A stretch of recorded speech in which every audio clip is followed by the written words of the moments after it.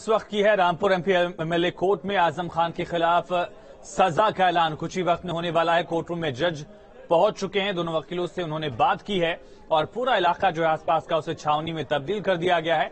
दस बार के विधायक हैं इस चुनाव में। 2019 लोकसभा चुनाव में सांसद भी बने थे, हालाँकि फिर इस्तीफा दिया उन्होंने। विधानसभा चुनाव जीतने के बाद उनकी सीट पर समाजवादी पार्टी हार गई। उपचुनाव जो था लोकसभा का। लेकिन आज़म खान का एक अपना बड़ा खद है समाजवादी पार्टी में भी, और उत्तर प्रदेश में अल्पसंख्यक नेताओं में भी एक बड़ा नाम है। और ऐसे में अगर उनकी सदस्यता जाती है तो समाजवादी पार्टी के लिए बहुत बड़ा झटका ये होने वाला है। इसके अलावा उनके खिलाफ लगातार मामले चल रहे हैं। लगभग अस्सी मामले थे। सुप्रीम कोर्ट से इसी साल जमानत मिली थी मई के महीने में। और अब आज़म खान के खिलाफ एक बहुत बड़ी मुश्किल।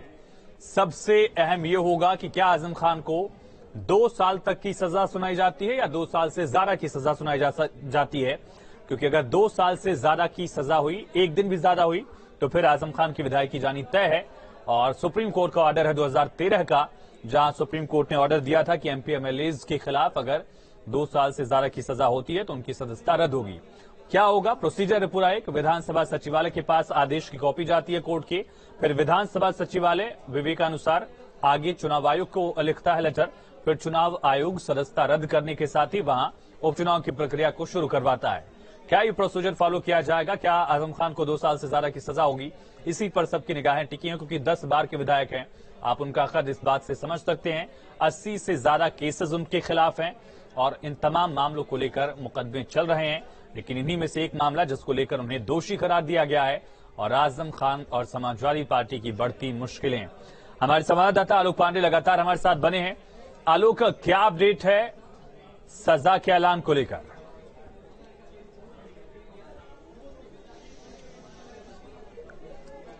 देखिए अभी थोड़ा इंतज़ार करना पड़ेगा आ, क्योंकि महत्वपूर्ण यही है कि आ, जज आ चुके हैं और उन्होंने वकीलों से बात की है। अब आ, उसके बाद जो मूल कॉपी होती है जजमेंट का और जो मूल गवाही का पक्ष होता है, वो देखते हैं आमतौर पर जज उसे रिव्यू करते हैं और रिव्यू करने के बाद फिर अपना जिसे कहा जाता है, डिक्टेशन आमतौर पर वो सजा का वहीं पे ऐलान करते हैं और वो पूरा डिटेल डिक्टेशन होता है और उसका जो ऑपरेटिव पार्ट होता है, वो यही देखा जाता है कि उसमें जज ने आखिरकार क्या फैसला दिया है? तो ऑपरेटिव पार्ट सबसे महत्वपूर्ण होता है बाकी वो केस के पूरे शुरू से लेकर अंत तक के उसके बिंदुवार जजमेंट जो होता है उसको लिखा गया होता है। देखना होगा ऑपरेटिव पार्ट में क्या लिखा है किस तरह की सजा है। और जैसा कि पीपल्स रिप्रेजेंटेटिव एक्ट की जो बात हो रही है 125 वो आ, सबसे महत्वपूर्ण हो जाता है इस पूरे केस में। और आ, देखना होगा कि क्या आज़म खान अपनी सदस्यता बचा पाएँगे। ये केस में दो तीन ऐसे पहलू हैं जो कि आज़म खान के लिए सजा सुनाने से पहले ही बहुत ही उनके लिए चेतावनी बन चुके हैं उनके लिए मुश्किलों का सबब बन रहे हैं। एक तो ये कि 125 के तहत क्या वो अपनी सदस्यता बचा पाएँगे और दूसरा क्या वो जमानत पा पाएँगे क्योंकि सजा सुनानी तय है, सजा मिलना तय है, और उसके बाद उनको हिरासत में लिया जाना तय है। ये तीन चीज़ें तय हैं, और देखना अब यहाँ यहाँ पर इस बात को है कि क्या वो जमानत के लिए वो सभी जो ग्राउंड्स होते हैं लीगल ग्राउंड्स होते हैं लीगल पेपर्स होते हैं उनका मिल जाना समय पे मिलना और हाईकोर्ट के अप्रोच करना क्या ये सब संभव है? क्योंकि देखिए ये सिर्फ़ हम कह नहीं रहे हैं। हम्म। ये एक फ़िज़िकल मूवमेंट भी है। राम क्योंकि जो ओरिजिनल पेपर है वो रामपुर के इस कोर्ट से ही निकलेगा। उसको लेकर के हाई कोर्ट जाना हाई कोर्ट में फ़ाइल करना यहाँ पे ये ज़रूर हो सकता है जो मैं अपने अनुभव से कुछ केसेस को बता रहा हूँ। कि हो सकता है वो हाई कोर्ट में विशेष अनुरोध करते हैं क्योंकि हेल्थ का ग्राउंड दिया जा सकता है कि उनका स्वास्थ्य अच्छा नहीं है उनकी कई ऐसी दवाइयाँ चल रही हैं और उनके इन्फेक्शन की बात की जा सकती है हार्ट की कार्डियक की प्रॉब्लम उनके साथ है हम्म। ऐसे में कोर्ट को विशेष तौर पे वो इस बात का उनका जो पैनल है अनुरोध कर सकता है कि इस केस को प्रायोरिटी पे और तत्काल उसमें सुन लिया जाए और सुनने के बाद हाई कोर्ट क्या फैसला देगा वो महत्वपूर्ण है और वो जमानत का फैसला होता है, इसलिए वो सबसे महत्वपूर्ण है। यहाँ पर अगर मैं समझ पा रहा हूँ जो इसके कानूनी दावपेच तो कानूनी रूप से आज़म खान और उनकी टीम इस बात के लिए परेशान होगी कि जो सजा सुनाई जाएगी,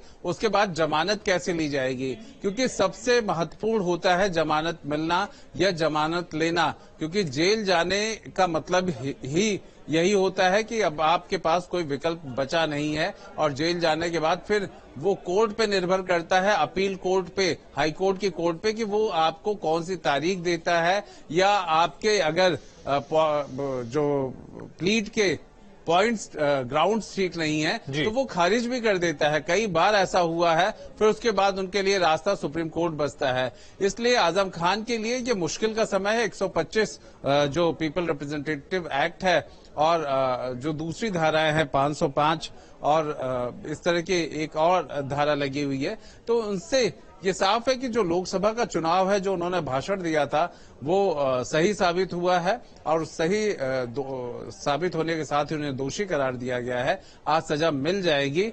अब जज जज ज़रूर समय ले रहे हैं और हम इसे समय लेना भी नहीं कहेंगे। ये इस तरह का मसला जब होता है, जब हम इसे संवेदनशील मान लेते हैं, जहाँ जिला प्रशासन और पुलिस प्रशासन मिलकर के एक छावनी की तरह तब्दील कर दिया है उसने परिसर को। और जो दूसरे भी जगह होते हैं, वहाँ पे भी अलर्ट रहता है। एक तौर पे हम कहें, ज़िले में अलर्ट होता है क्योंकि मैंने आपसे पहले भी कहा कि आज़म खान छोटा मोटा नाम नहीं है, आज़म खान बड़ा नाम है, और ऐसे में सजा होती है तो उनके जो समर्थक हैं, उनके जो कार्यकर्ता हैं, वो निश्चित तौर पे कहीं न कहीं अपना विरोध, गुस्सा, रोष, ये सब ज़ाहिर करते हैं और ऐसे में ही पुलिस की मुख्य भूमिका होती है कि उनको न सिर्फ़ नियंत्रित करना, कंट्रोल में लाना, बल्कि उन्हें तितर बितर करने की स्थिति आए तो वो करना है। उन्हें शांतिपूर्ण ढंग से कोर्ट की कार्रवाई हो शांतिपूर्ण ढंग से जो कोर्ट का आदेश होगा, उसका पालन कराना भी जिला और पुलिस प्रशासन का ही दायित्व होता है। तो यहाँ पर ये दायित्व निभाने के लिए भी पुलिस बल लगाए गए हैं। पुलिस की जो तैनाती है, वो उसकी संख्या बढ़ाई गई है क्योंकि जो जिला प्रशासन है, पुलिस प्रशासन है, वो बाध्य होता है कोर्ट के आदेशों का पालन कराने का। अगर ऐसा वो नहीं कर पाता है तो वो भी आ, उनके ऊपर भी केस चल जाता है हम्म। और कोर्ट नाराज़ हो जाती है। अब एक ही चीज़ की राहत है कि कोर्ट अपने ऑब्जर्वेशन में क्या कहती है। कोर्ट आ, जो डिटेल जजमेंट आता है उसमें आ, कहीं आज़म खान को हो सकता है जिसे कहा जाता है बिटवीन लाइंस कुछ राहत मिल सकती है। और फिर उसके बाद हमने जैसे कहा कि अधिक, अधिकतम तीन साल की सजा होती है। तो सजा कितने की होती है? और उस सजा को लेकर के विधानसभा की उनकी अब आज़म खान की लंबी लड़ाई शुरू होगी। लंबी चुनौतियों का दौर शुरू हो जाएगा। अभी तक हम उन्हें जौहर विश्वविद्यालय के ही उसमें देख रहे थे वो फंसे हुए थे। वो सारे मामलों में कहीं न कहीं किसी में बेल लेकर के बाहर आए हैं। तो कुछ मामले और भी एफआईआर दर्ज हुआ है। कुछ मामलों में विवेचना चल रही है। तो ऐसा ऐसे आज़म खान जो कि अगर कहा जाए एफआईआर और विवेचना और आज हम उन्हें सजा पाने वाले दिन के रूप में देख रहे हैं तो आज़म खान निश्चित तौर पर आ, संकट में है कष्ट में है और वो उनकी मुश्किलें उनके तकलीफें अब कोर्ट जजमेंट के बाद और बढ़ेगी, ये तय मानिए, और कितना जजमेंट में सजा सुनाई जाएगी, यही एक सबसे बड़ा और अहम प्रश्न है, जिसके लिए हमें इंतज़ार करना पड़ेगा, कोर्ट के फैसले का, जज साहब के फैसले का। जी। बिल्कुल, आलोक, और तीनों जो धाराएँ हैं, चाहे 125 की बात की जाए, जिसका ज़िक्र आपने किया कि पीपुल्स रिप्रेजेंटेशन एक्ट जो है इसके अलावा 505 है आईपीसी की एक एक की धारा लगाई गई है। इन तीनों ही धाराओं में तीन साल तक की सजा का प्रावधान है, जो आज़म खान के लिए सबसे मुश्किल बात दिखती है यहाँ।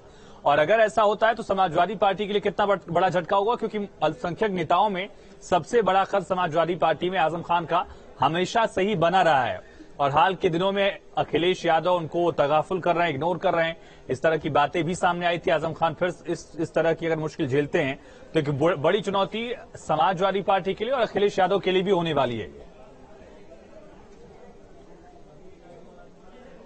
बिल्कुल देखिए अगर इस केस को लेकर के हम दूसरे परिदृश्य में चले जाते हैं दूसरी हम्म। इसकी तस्वीर देखते हैं जिसे हम राजनीति की तस्वीर कहते हैं उस आईने में देखने पे समाजवादी पार्टी का एक बड़ा नाम और आज का नहीं दस साल विधायक रहे हैं दस बार विधायक रहे हैं तो आप समझ लीजिए कि राजनीतिक कैरियर इनका कितना बड़ा रहा है और इस बीच में वो एक मुसलमान नेता, एक अल्पसंख्यक नेता के रूप में एक बड़ा कद बना चुके हैं। अल्पसंख्यकों को लेकर के उनके जो भाषण है, बयान है, या जब कभी भी सपा की सरकार रही है तो उसके लिए उन्होंने काम करने की कोशिश भी की। और अगर हम 2012 से 17 के बीच में देखें, जब समाजवादी पार्टी की पूर्ण बहुमत की सरकार थी तो उस वक्त कब्रिस्तान की जो चार दीवारी थी वो एक ऐसा फैसला है मैं इस बात का इसलिए भी ज़िक्र कर रहा हूँ कि वो यूपी के उसके बाद 2017 के बाद जो चुनाव हुआ था उसमें कहीं ना कहीं वो विषय बना हुआ था। बिल्कुल। 2014 का जो लोकसभा चुनाव था वो एक विषय बना हुआ था।